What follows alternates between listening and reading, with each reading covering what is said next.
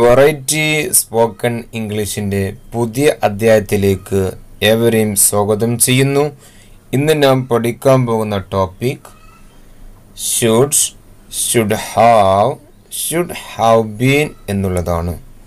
ഇത് മൂന്നും വളരെ ഇമ്പോർട്ടന്റ് ആയ ഓക്സിലറി വേർബ്സ് ആകുന്നു. ആദ്യമായി നമ്മൾ ഷുഡ് എവിടെ ഉപയോഗിക്കാം എന്ന് നോക്കാം.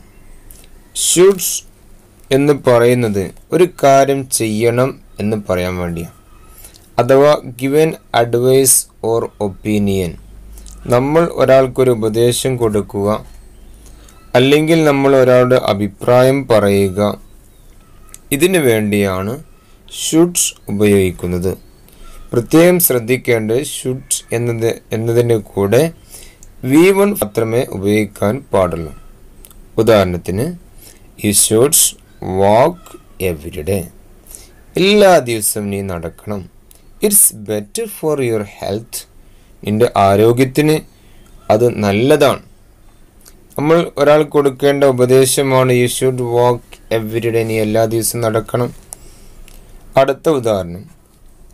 Tabsheer you should get a haircuts Tabsheer എന്ന കുട്ടിയെ വിളിച്ച് നാം പറയാണ്. Tabsheer തബ്ഷീറെ you should get a haircut നീ ആ മുടി വെട്ടണം. മുടി വെട്ടുന്നത് നല്ലതാണ്. You should get a haircut മുടി ആകെ വൃത്തികേടായി കിടക്കാൻ ആ സമയത്ത് നമുക്ക് പറയാൻ പറ്റുന്ന ഒരു ഉപദേശമാണ് you should get a haircuts അടുത്ത ഉദാഹരണം you should complaint to the manager നീ മാനേജറോട് കംപ്ലൈന്റ് ചെയ്യണം. ഒരു ബിസിന വർക്ക്ഷോപ്പിൽ അല്ലെങ്കിൽ ഒരു കമ്പനിയിൽ ഒരു ഇഷ്യൂ നടന്നു അപ്പോൾ അവിടുത്തെ സ്റ്റാഫിനോട് നമ്മൾ പറയുകയാണ് you should complaint to the manager നീ മാനേജറോട് കംപ്ലൈന്റ് ചെയ്യണം പരാതിപ്പെടണം.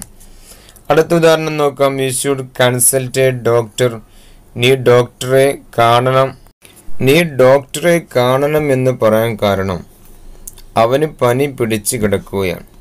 അപ്പോൾ നാം അവനോട് ഉപദേശം കൊടുക്കുകയാണ് you should consult a doctor നീ ഡോക്ടറെ കാണണം.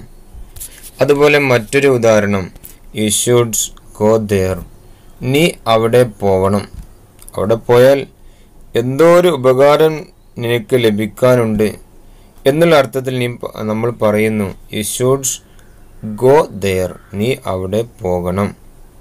പ്രത്യേകം ശ്രദ്ധിക്കേണ്ടത് ഷുഡ് എന്നുള്ളതിന്റെ കൂടെ വോബിന്റെ ഫസ്റ്റ് ഫോം അഥവാ വി വൺ ഫോം മാത്രമേ ഉപയോഗിക്കാൻ പാടുള്ളൂ.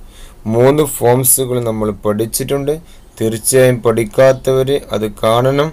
അതിന്റെ ലിങ്ക് ഡിസ്ക്രിപ്ഷൻ ബോക്സിൽ കൊടുത്തിട്ടുണ്ട്. ഇനി അടുത്തത് ഷുഡ് ഹാവ് ഷുഡ് ഹാവ് എന്ന് നാം ഉപയോഗിക്കുന്നത് ഒരു കാര്യം ചെയ്യേണ്ടതായിരുന്നു എന്ന് പറയാൻ വേണ്ടിയാണ് ആ കാര്യം ചെയ്തിട്ടില്ല. ചെയ്താൽ നന്നായിരുന്നു എന്ന അർത്ഥത്തിലാണ് നാം ഉപയോഗിക്കുന്നത്. അഥവാ കഴിഞ്ഞ കാല കാലത്ത് നടന്ന ഒരു പ്രവൃത്തി അതിനെക്കുറിച്ച് നാം അഭിപ്രായം പറയുക. ആ സമയത്ത് നാം ഉപയോഗിക്കുന്നതാണ് ഷുഡ് ഹാവ് നീ അത് ചെയ്യേണ്ടതായിരുന്നു എന്ന അർത്ഥത്തിലാണ് നാം ഇത് ഉപയോഗിക്കുന്നത്. പ്രത്യേകം ശ്രദ്ധിക്കേണ്ടത് ഷുഡ് ഹാവ് എന്നതിന്റെ കൂടെ വേർബിന്റെ തേർഡ് ഫോം മാത്രമേ ഉപയോഗിക്കാൻ പാടുള്ളൂ. അഥവാ വി ത്രീ ഫോം മാത്രമേ ഉപയോഗിക്കാൻ പാടുള്ളൂ. ഉദാഹരണം you should have come with me നീ എന്റെ കൂടെ വരേണ്ടതായിരുന്നു. നീ എന്റെ കൂടെ വന്നിട്ടില്ല. വന്നുവെങ്കിൽ നിനക്ക് അത് ഉപകാരമായിരുന്നു എന്ന അർത്ഥത്തിൽ അവനോട് പറയാണ് you should have come with me നീ എന്റെ കൂടെ വരേണ്ടതായിരുന്നു. അടുത്ത ഉദാഹരണം. You should have studied well for the test പരീക്ഷയ്ക്ക് നീ നന്നായി പഠിക്കേണ്ടതായിരുന്നു. നീ പഠിച്ചിട്ടില്ല അതുകൊണ്ട് എനിക്ക് മാർക്ക് കുറഞ്ഞു. ആ സമയത്ത് നാം അവനോട് പറയുന്നു you should have studied well for the test നീ പരീക്ഷയ്ക്ക് നന്നായി പഠിക്കേണ്ടതായിരുന്നു. അടുത്ത ഉദാഹരണം നോക്കാം. You should have eaten breakfast this morning ഇന്ന് രാവിലെ നീ നന്നാ നീ പ്രാതൽ കഴിക്കേണ്ടതായിരുന്നു. ഉച്ചയ്ക്ക് ക്ഷീണം പിടിച്ചിരിക്കുന്ന ആളോട് നമുക്ക് പറയാം. You should have eaten breakfast this morning ഇന്ന് രാവിലെ നീ പ്രാതൽ കഴിക്കേണ്ടതായിരുന്നു. നീ പ്രാതലൊന്നും കഴിക്കാത്തത് കൊണ്ടാണ് നിനക്ക് ക്ഷീണം പിടിച്ചിരിക്കുന്നത്. അടുത്ത ഉദാഹരണം നോക്കാം. You should have married her when you had a chance നീ ആ പെൺകുട്ടിയെ നീ അവളെ വിവാഹം ചെയ്യേണ്ടതായിരുന്നു. When you had a chance നിനക്കൊരു അവസരം കിട്ടിയപ്പോൾ നിനക്കൊരു അവസരം കിട്ടിയപ്പോൾ നീ അവളെ വിവാഹം ചെയ്യേണ്ടതായിരുന്നു. അവൾ നല്ലൊരു പെൺകുട്ടിയാണ്. അവളെ നീ വിവാഹം ചെയ്തിട്ടില്ല. അങ്ങനെയുള്ള അവസ്ഥയിൽ അവനോട് നമുക്ക് പറയാൻ പറ്റും. You should have married her when you had a chance നിനക്കൊരു ചാൻസ് കിട്ടിയപ്പോൾ നീ അവളെ വിവാഹം ചെയ്യേണ്ടതായിരുന്നു. അടുത്ത ഉദാഹരണം. You should have turn it on time നീ അത് സമയത്ത് ചെയ്യേണ്ടതായിരുന്നു. സമയത്ത് ചെയ്യാത്തത് കൊണ്ടല്ലേ നിനക്കങ്ങനെ സംഭവിച്ചത്? You should have done it on time നീ അത് സമയത്ത് ചെയ്യേണ്ടതായിരുന്നു. ഇവിടെ നാം പ്രത്യേകം മനസ്സിലാക്കേണ്ടത് ഷുഡ് ഹാവ് എന്നതിന് ശേഷം വി ത്രീ ഫോം മാത്രമേ ഉപയോഗിക്കാൻ പാടുള്ളൂ എന്നുള്ളതാണ്. V one form V two form നാം ഉപയോഗിക്കരുത്. Should have plus V three form മാത്രമേ നാം ഉപയോഗിക്കാൻ പാടുള്ളൂ. ഇനി നമുക്ക് ഷുഡ് ഹാവ് ബീൻ എവിടെ ഉപയോഗിക്കാം എന്ന് നോക്കാം. Should have been plus V three. Should have been എന്നതിന്റെ കൂടെ വി ത്രീ ഫോം മാത്രമേ ഉപയോഗിക്കാൻ പാടുള്ളൂ. അഥവാ ഒരു കാര്യം ചെയ്യപ്പെടേണ്ടതായിരുന്നു. ഒരു കാര്യം ചെയ്യപ്പെടേണ്ടതായിരുന്നു എന്ന് പറയാൻ വേണ്ടിയാണ് ഇത് ഉപയോഗിക്കുന്നത്. അഥവാ പാസീവ് വോയിസ് പാസീവ് വോയിസ് എന്ന് പറയുമ്പോൾ ചെയ്ത ആൾക്ക് വലിയ ഇമ്പോർട്ടൻസ് കൊടുക്കാത്ത സമയത്ത്. നാം ഉപയോഗിക്കുന്ന ഫോമാണ് പാസീവ് വോയിസ് ഉദാഹരണത്തിന് this room should have been cleaned this room should have been cleaned ഈ റൂം വൃത്തിയാക്കപ്പെടേണ്ടതായിരുന്നു. റൂം ആകെ വൃത്തികട കിടക്കുക. ആ സമയത്ത് നമ്മൾ പറയും this room should have been cleaned ഈ room വൃത്തിയാക്കപ്പെടേണ്ടതായിരുന്നു.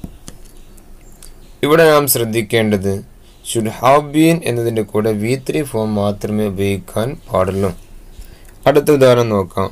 This work should have been done on time ഈ ജോലി കൃത്യസമയത്ത് ചെയ്യേണ്ടതായിരുന്നു.